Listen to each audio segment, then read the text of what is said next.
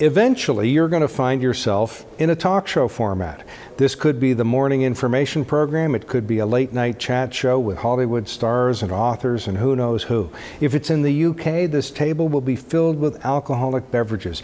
Please don't have one. You're not going to perform all that well.